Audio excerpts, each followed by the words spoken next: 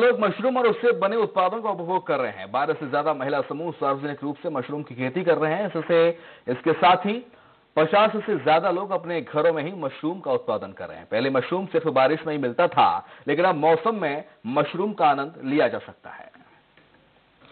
आपको मैंने बताया कि ट्रैवल डिपार्टमेंट से जो चूजे का उत्पादन कर रही है महिलाएँ इसके अलावा हमारा जो खनन प्रभावित क्षेत्र है गोंडी वहाँ पर हमने कुछ महिला, समूह का और महिलाओं का चयन किया जो मशरूम उत्पादन से जुड़ी।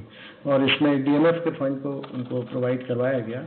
आज की स्थिति में लगभग एक महिलाएँ इसमें इन्वॉल्व है और 30 ग्राम के लोग इसमें शामिल हैं।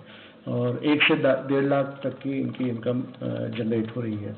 हमारे संगवारी में दस जन हवन लेकिन हम मशरूम में उत्पादन करत हन और ओकर से जैसे बेचथन से बच जाते ओला मन चटनी, अचार, पापड़ अपन से जो बना थे वो बना ले था। और हो गया है, हम लोग कर रहे हैं मशरूम का। और हम लोग प्रशासन गाँव में ही ट्रेनिंग दिए थे तो उसके ज़रिए हम लोग गाँव में ही महिला दस लोग हैं, अभी हम लोग समूह में। और